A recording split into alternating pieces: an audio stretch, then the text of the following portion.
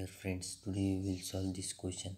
The true discount on a bill due 10 months hence 6% per annum is rupees 26.25. The amount of the bill is. Here we will consider that suppose true true value of bill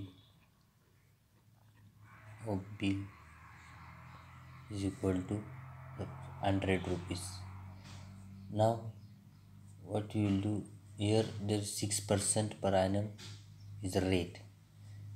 Then suppose 100 into 6 into this is per annum but it's 10 month is given 10 by 12 divided by 100 this is known as true discount.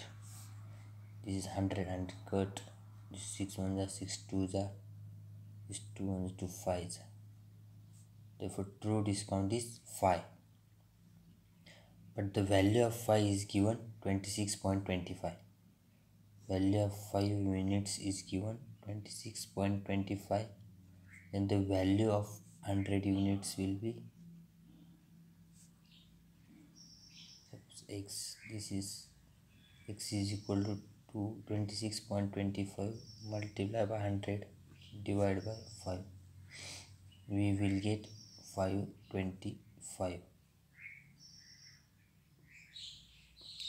this is the true value. But we want to calculate the amount. Therefore amount is equal to true value plus true discount